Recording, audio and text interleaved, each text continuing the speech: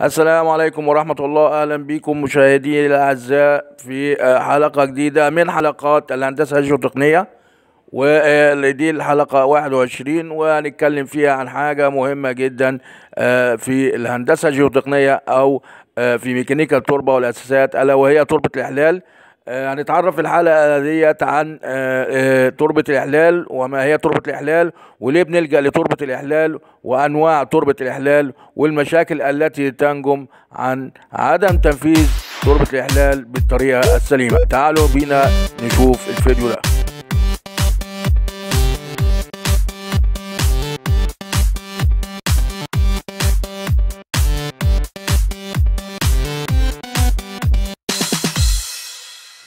السلام عليكم أهلا بكم مرة أخرى مشاهدي الأعزاء وهنعرف آه، ما هو آه، إحلال التربة أو what's soil replacement نتعرف آه، على ال term نفسه أو ال expression بتاع إحلال التربة. هو استبدال التربة الموجودة في آه، الأرض أو آه، أثناء عمل الجسات بتربة أخرى لها مواصفات خاصة والعملية ديت أو عملية الاستبدال أو الإحلال دي بطر- بطريقة هندسية للوصول إلى تربة آه، صالحة للتأسيس حسب التصميم. آه، وياتي السؤال آه، لماذا نلجأ لتربة الإحلال؟ طيب ناخد نقطة نقطة كده بسرعة. آه، نمرة واحد لكي يتم رفع منسوب التأسيس بمعنى إن أنا استلمت أرض آه، منسوب آه، يعني لقيتها واطية عن آه، منسوب التأسيس المقترح أو واطية عن الطريق.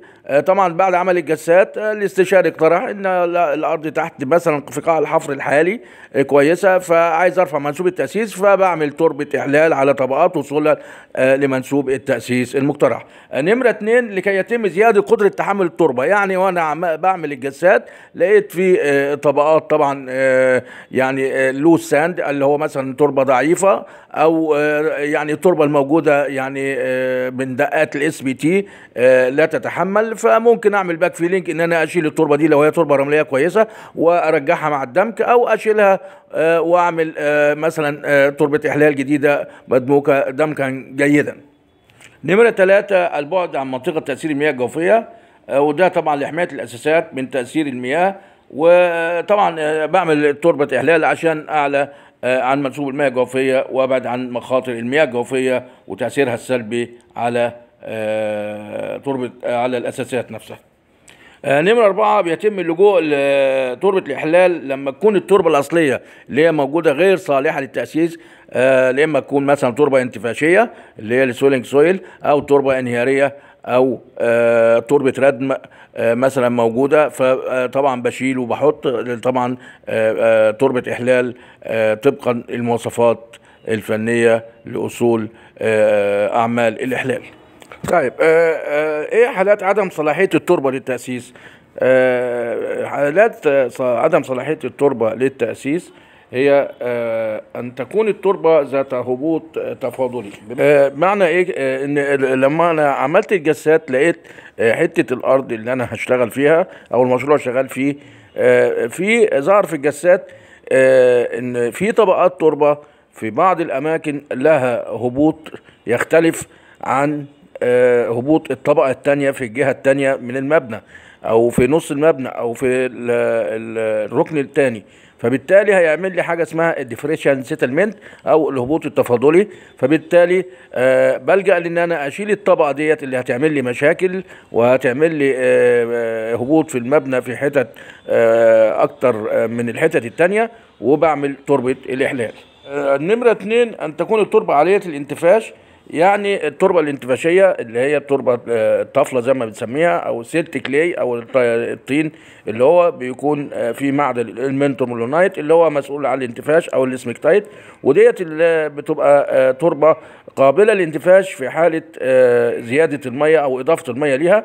يعني هي بتبقى dry جافة ولما بيحصل إن هي بيجي لها مية مستقبلا بيحصل لها انتفاش. وبرضه ديت بتعمل لي آه، مشاكل في إن المنشأ ممكن يترفع نتيجة انتفاش هذه التربة في مناطق ومناطق لا فبنلاقي طبعا آه، في شروخ وبنلاقي في آه، cracks وطبعا ديت آه، لازم نشيلها ونعمل آه، بدلها أو نستبدلها بتربة إحلال. نمرة ثلاثة آه، أن تكون التربة لها قابلية عالية للانهيار بمجرد زيادة نسبة الرطوبة بها. يعني التربة دي بتكون موجودة آه، في آه، المنطقة اللي هعمل فيها المنشأ وبقى ظهرت لي في الجسات والتربة ديت طبعا بتبقى تربة انهيارية يعني آه، بيبقى collapse. collapsible soil. طبعا آه، هي dry برضو جافة ولما بيجي لها آه، مية مستقبلا فيظهر إن هي فيها فجوات وفيها آه، رمل أو مثلا آه، آه، تربة متدرجة وفيها نسبة سلت وفيها نسبة كلي أو طين أو طمي أو مواد جيريه فبيجي لها المية فبيحصل لها كولابس فبرضو دوت سبب إن أنا أستبدل هذه التربة وأعمل آه، تربة إحلال. آه، الحالة الرابعة أو آه، رقم أربعة أن تكون التربة الأصلية عند منسوب التأسيس آه، لا تستحمل الأحمال آه، المطبقة اللي جاية. زي ال soft clay اللي هي آه، الطين الضعيف وطبعا دي لما بتكون طبقة موجودة عندي آه، تحت منسوب التأسيس وهتعمل لي مشاكل. فبشيل التربة دهيت برضو زي آه، بنسميها إحنا الطين ال- ال soft clay أو الطين الضعيف.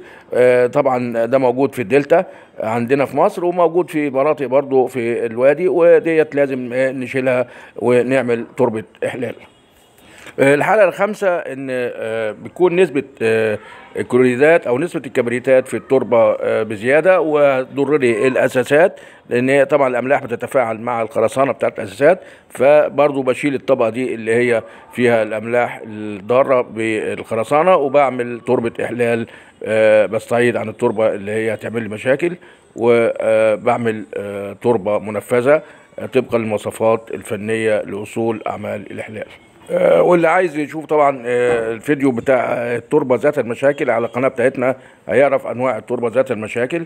آه، وديت صور آه، بتوضح لنا آه، التربة الانتفاشية في آه، بعض المواقع وشايفين طبقة السلت كلي أو طبقة الطفلة الانتفاشية. آه، طبعا دي آه، بنشيل آه، أو شلناها وحطينا مكانها طبقة إحلال. آه، وفي أشكال دي شكل تاني برضو من التربة ال expansive soil أو ال swelling soil أو التربة الانتفاشية وشكلها وهي طالعة في ال core آه، اثناء عمل الجسات ودي أنواع وألوان من التربة الانتفاشية أو الطين الانتفاشي آه، وهي طالعة من ال core وديت التربة الانهيارية اللي إحنا قلنا collapsible soil.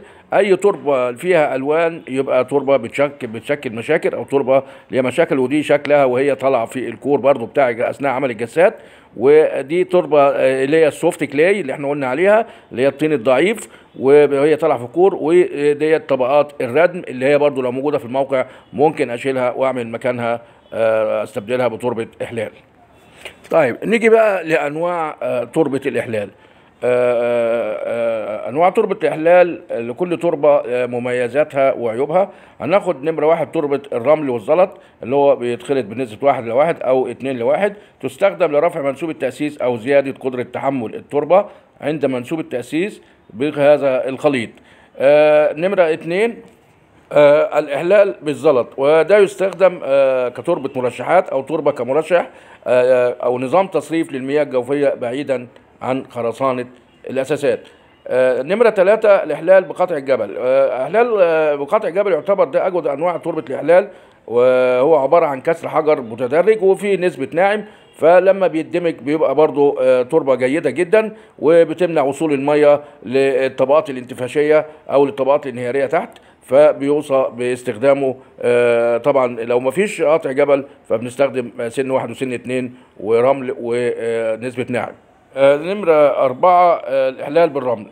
آه، الرمل بيستخدم لفرع منسوب آه، آه، التأسيس برضه أو تخفيض الإجهادات على التربة الأصلية آه، اللي هي موجودة تحت آه، تربة الإحلال ويستخدم الرمل الخشن كطبقة إحلال في حالة التربة القابلة للانتفاش حيث يعمل كطبقة مرنة لامتصاص الانتفاش الناتج عن التربة الأصلية.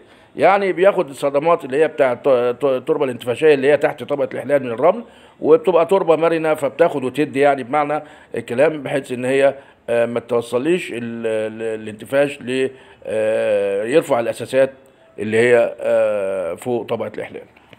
نمرة خمسة الإحلال بالخرسانة الضعيفة.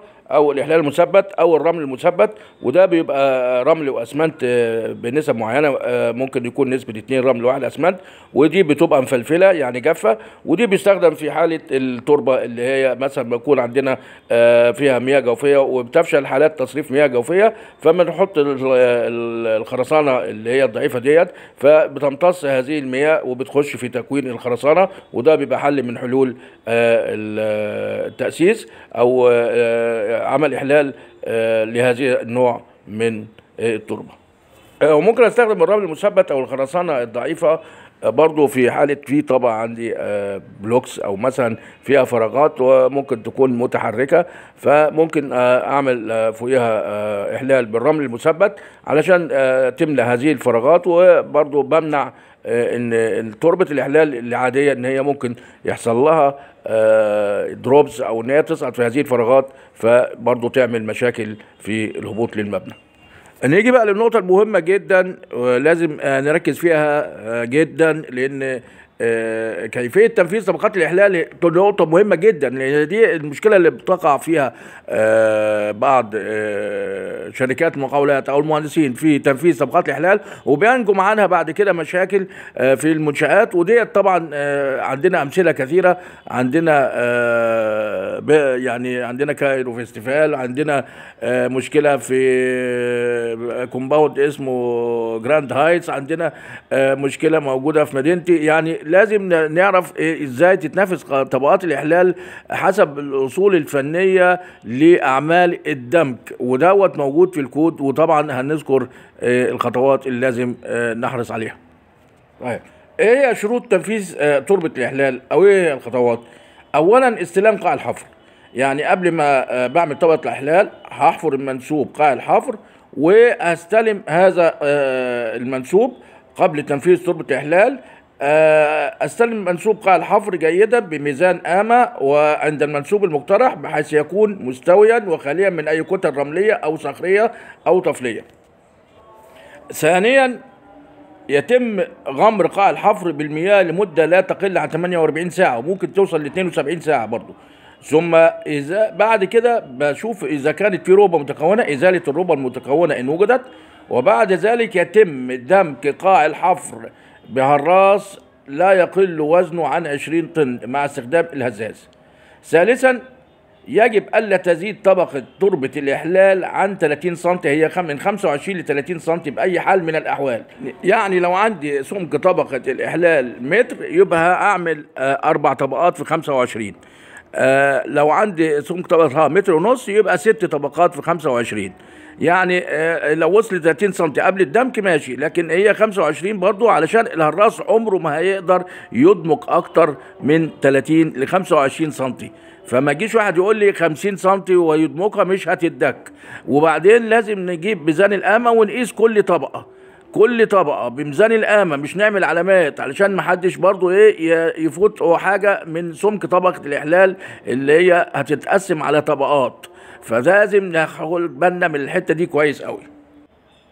خامسا يجب إجراء اختبارات الدمج على كل طبقة اتعمل لها دمج بالهراس. يعني لكل 100 متر مسطح باخد نقطة اختبار دمج بالساند كون أو بأي آه، طريقة إن أنا آه، أشوف جودة الدمج آه، طبعا آه، هنعمل آه، بعد كده فيديوهات عن آه، اختبار Proctor واختبار ال sand cone أو اختبار الدمج في الموقع وهنعمل حلقات تانية للتجارب الحقلية. آه، آه، طبعا آه، لازم نهتم بتربة الإحلال برجاء الاهتمام بتنفيذ آه، تربة الإحلال علشان المشاكل اللي بتحصل آه، بعد آه، المنشأ ما بيطلع آه، من جراء عدم تنفيذ تربة الإحلال بالطريقة المظبوطة حسب الأكواد وحسب المواصفات الفنية فيا رب يكون الفيديو عجبكم. برجاء subscribe و like و share.